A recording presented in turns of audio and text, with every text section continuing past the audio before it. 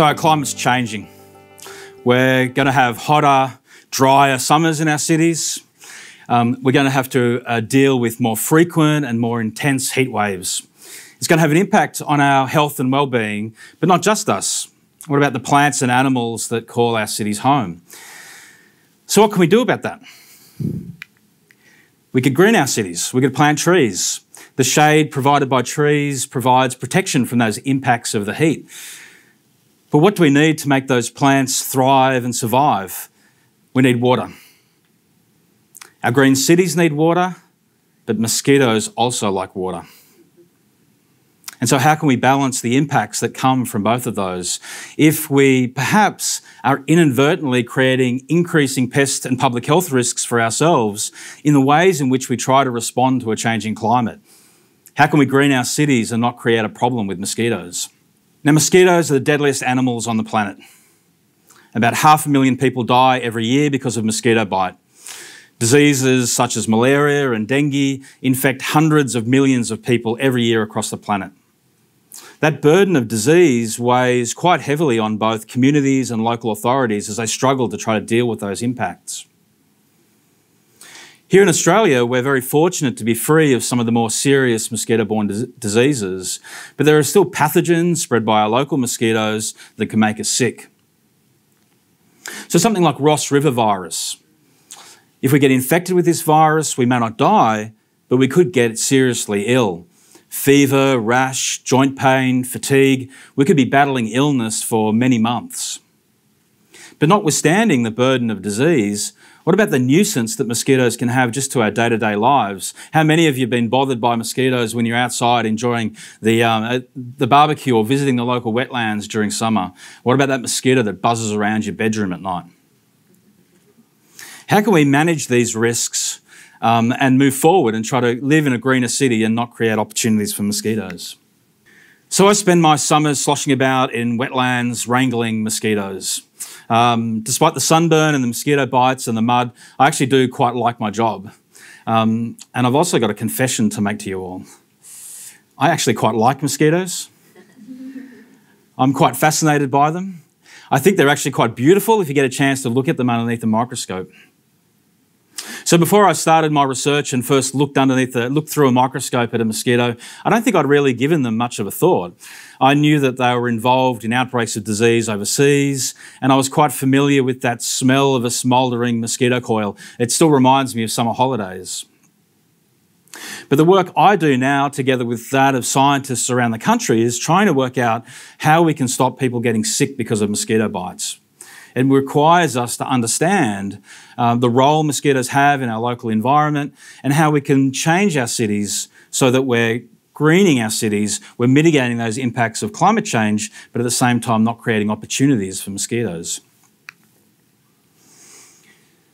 Did you know there are over 60 different types of mosquitoes that are found in Western Sydney? So it's not just that one mosquito that you slap on your arm and squashed. They're an incredibly diverse and interesting range of animals. There's 60 different types across Western Sydney. These mosquitoes might be big, they might be small, they might be black with distinctively striped legs, they might be a pale brown colour, or they might be a really vibrant orange colour. But one of the things I love about all these mosquitoes is that they're very unique. They've adapted to very different types of environments. That's one of the reasons I like them because they're incredibly adaptive. But it's also the thing that worries me about them because they could be adapting to these sources of water we're creating around, around our cities. So mosquitoes are found in an incredibly wide range of environments, from coastal rock pools to snowmelt streams in our alpine regions, from polluted drains to pristine wetlands and almost every puddle of water in between. There are mosquitoes found in all of these environments. And understanding how the mosquitoes interact with these environments and the climate is really important to understand how they might play a role in outbreaks of disease. But all of these mosquitoes essentially need two things. They need blood and they need water. So I'll get to the blood in a little while, but let me talk to you about why water is really important for mosquitoes. The humble mozzie is a really frail and fragile creature. It looks like it'll fall apart in a strong breeze. It's hard to imagine these are the danger, most dangerous animals on the planet. But these animals kind of rely on water. They've got an amazing life cycle that starts in the water. They need water. So So eggs are laid in and around sources of water. And then when it rains or the tides come into the wetlands, these eggs hatch, and out of these eggs hatch these worm-like uh, larvae that swim around in the water. Maybe you've seen them in puddles or your pot plant sources, or maybe as I did as a child, uh, if you're a bit slow to clean your backyard swimming pool when the warmer weather arrives, all of a sudden you can see these mosquitoes swimming around at the top of the water. But during summer, it might only take a week or so for them to emerge from those from that water and start flying around. They only live for a few weeks, but during that time, they can bite a lot of people and they can lay more than a thousand eggs. But to get those eggs, they need blood. Mosquitoes need blood. That's why they bite. It's only the female mosquito that bites, and she needs that protein hit in her blood to develop her eggs. They can live quite happily on plant juices and sugars most of the time, but they really need that blood to develop eggs. And the animals they can get that blood from can be incredibly varied from cows and kangaroos to birds to frogs, but also us. And I know for some of us in this room, you're probably thinking, boy, mosquitoes sure like to bite me a bit more than they like to bite my friends. And sometimes we can be a bit unlucky like that. But it's also important to remember that mosquitoes, when they bite, can not only create an itchy red lump on our skin, but they can also make us sick. They can transmit pathogens that make us sick. But mosquitoes aren't flying around transferring droplets of infected blood from person to person. These are not dirty syringes. They're much more complicated organisms. And so the mosquitoes themselves have to become infected with the pathogen before they can pass that on to us. And when it comes to pathogen transmission, not all mosquitoes are created equal. It's why it's really important to understand mosquitoes because even though we have dozens of mosquitoes here in Sydney that could transmit something like Ross River virus, there are no mosquitoes currently in Sydney that can transmit the pathogens that cause more serious diseases, things like dengue, chikungunya, or Zika. Let's hope it stays that way. So, what does a green city look like for a mosquito? So, first of all, there are trees that provides shade, protection from wind and sun. It provides these kind of protected, humid little areas where mosquitoes can take refuge. The longer mosquitoes live, the more people they bite, the more eggs they lay. But it's not so much the plants, but the water they need, which is really critical for mosquitoes. So in a green city, we have water tanks.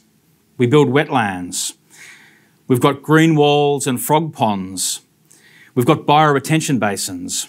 We've got rain gardens, all of these structures that might be designed to store and recycle water in and around our cities and suburbs could be used by mosquitoes. Remember, mosquitoes love this water that's available to them. So, how can we design a city so that mosquitoes aren't quick to adapt to these types of environments? Wherever there's water, mosquitoes will lay eggs. And we have to be mindful about that as we try to respond and green our cities, create these structures that will help us. It'll make a city greater. I want to live in a green city. I would love to live in a green city. It's probably great for my physical and mental health well, and well-being. I just don't want to share that with too many mosquitoes. And mosquitoes are so adaptive that I'm sure that they're going to create opportunities in these structures that we're building. And so I'm really worried that we're going to see more and more mosquitoes into the future. So, how do you create a wetland that's not home to mosquitoes? Well, one of the really interesting pieces of research we've found in recent years is that problematic mosquito populations often seem to be associated with wetlands of poor health. Wetlands that have more stagnant water, wetlands that don't have enough predators to eat the mosquitoes. So it's a tantalising idea that if you can create a wetland that's healthier, it has more water flow, it has a greater level of biodiversity, you can actually keep mosquito populations down.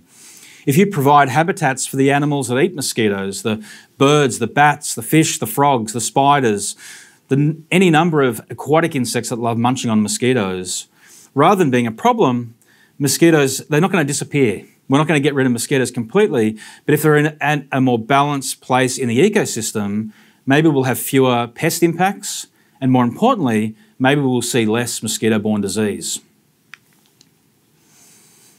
But what about stormwater drains? These are already a common sight in our local wetlands, and there's a mosquito that calls these habitats home, which you all already know. You may not notice it when it flies past you, but you know its sound. You've probably learned to hate the sound of this mosquito more so than its bite. This is a mosquito called the brown house mosquito. It loves breeding in polluted ponds and pipes and waterways. It's going to be quick to exploit the ways in which we store wastewater around our cities. But the thing is about this mosquito is it loves coming indoors at night. It's the mosquito that's going to be buzzing around your face at night, keeping you awake, disrupting your sleep. Now, the reason you can hear that mosquito is not because it makes a sound that's different to any other mosquito. It's just that that mosquito prefers to bite birds. And so it's flying around your face and your body responding to your heat and the smell of your skin, working out is this a large featherless bird? I'm not sure whether I want to bite it or not. And that's bad luck for those of you who smell a bit like a bird. But it's a reminder that sometimes it's not just the bite of mosquitoes that's the problem, it's the disturbance that can be caused by large numbers of mosquitoes. And so we don't want these mosquitoes coming inside our homes where we're kind of creating opportunities for these mosquitoes in our cities.